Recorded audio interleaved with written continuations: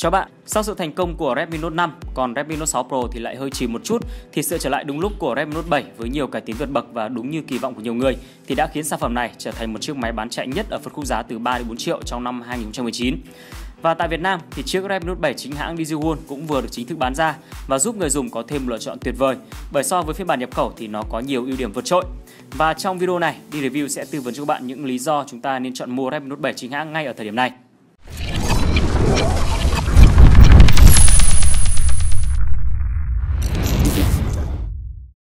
Thứ nhất chúng ta sẽ đi phân tích một lý do đó chính là giá của Redmi Note 7 chính hãng đắt hơn nhưng lại thành rẻ hơn. Khi nói đến đây thì có lẽ nhiều bạn sẽ nói là vô lý bởi vì giá niêm yết của Redmi Note 7 chính hãng bản RAM 3GB, 32GB tại Việt Nam đó là 3 triệu 990 000 đồng. Trong khi đó bản nhập khẩu trên thị trường thì đang có giá bán dao động khoảng tầm 3 triệu rưỡi đến 3 triệu 6. Như vậy thì mức giá chênh lệch khoảng tầm 400 000 Tương tự thì đây cũng là mức chênh lệch cho phiên bản RAM 4GB và bộ nhớ trong 64GB.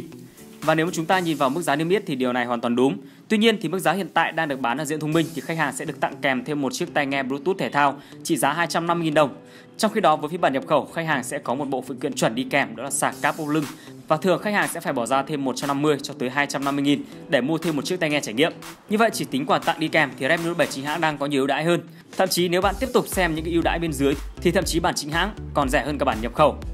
Ngoài những khuyến mãi đi kèm của chiếc Redmi Note 7 chính hãng DigiWon thì chúng ta còn có thể nhận thấy máy sẽ có những ưu điểm vượt trội so với phiên bản nhập khẩu. Thứ nhất đó là máy nguyên siêu, khách hàng sẽ được tự tay bóc và kích hoạt, được bảo hành chính hãng với thời gian cam kết lên tới 18 tháng phần cứng. Thứ hai đó Redmi Note 7 chính hãng DigiWon đã được cải sẵn tiếng Việt với bản ROM quốc tế chạy ổn định ở Việt Nam và không cần chờ đợi unlock mất 30 ngày.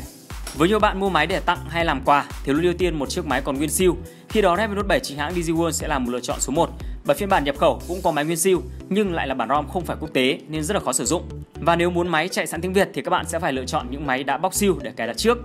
Vì vậy, máy này sẽ rất phù hợp khi các bạn mua tặng bố mẹ hay người thân bởi vừa là máy nguyên siêu và vừa có sẵn tiếng Việt rất là dễ sử dụng. Đặc biệt với bạn ở xa khi mua online thì vấn đề cài đặt tiếng Việt thay bảo hành cũng sẽ được thuận lợi hơn rất là nhiều. Các bạn sẽ không phải chờ đợi 30 ngày để unlock, sau đó gửi lại cửa hàng hay thậm chí vượt qua những quãng đường xa xôi chỉ để lên cài một bản ROM tiếng Việt. Với một số bạn mua ở các hệ thống nhỏ thì thậm chí còn phải bỏ ra thêm 100 cho tới 150 nghìn để được cài một bản ROM tiếng Việt. Ngoài ra thì thời gian bảo hành lên tới 18 tháng chính hãng tại các trung tâm bảo hành DJK trên toàn quốc cũng vượt trội hơn 12 tháng so với phiên bản nhập khẩu. Với Redmi Note 7 chính hãng DigiWorld khi các bạn mua ở thời điểm này, với mức giá chênh lệch khoảng 400 nghìn so với bản nhập khẩu nhưng mình có thể khẳng định người dùng sẽ được lợi nhiều hơn thế Cụ thể thì mình xin tổng kết lại, đó là khi mà mua hàng chính hãng thì các bạn sẽ được tự tay bóc siêu kích hoạt, được bảo hành 18 tháng chính hãng trên toàn quốc, hỗ trợ phần mềm trọn đời, sản phẩm sẵn tiếng Việt, bản ROM quốc tế, cập nhật OTA thoải mái, không cần chờ đợi unlock 30 ngày. Tặng kèm tai nghe Bluetooth trị giá 250.000 đồng. Và không thể phủ nhận Redmi Note 7 nhập khẩu vẫn đang là một chiếc máy cực hot ở thời điểm này bởi mức giá rẻ, cấu hình cao và mình nghĩ nó phù hợp với những bạn cần tiết kiệm kinh tế, phục vụ cho nhiều việc khác hay đơn giản là một chiếc máy trải nghiệm để chơi game, vọc vạch, cài ROM hay thường xuyên nâng cấp lên những đời máy cao hơn.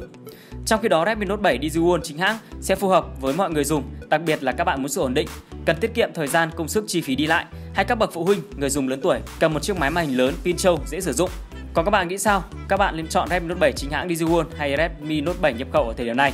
Mời các bạn để lại ý kiến ở phần comment phía dưới video. Còn nếu sau khi tham khảo video này, các bạn thấy đồng ý với mình, hãy để lại thông tin đặt hàng Redmi Note 7 chính hãng DigiWon ngay phía dưới video để được ship máy miễn phí về tận nơi. Hoặc các bạn có thể qua 22 showroom của Diệm thông minh trên toàn quốc để được mua hàng và nhận được nhiều ưu đãi hấp dẫn. Còn bây giờ xin chào cũng như hẹn gặp lại các bạn trong những video lần sau.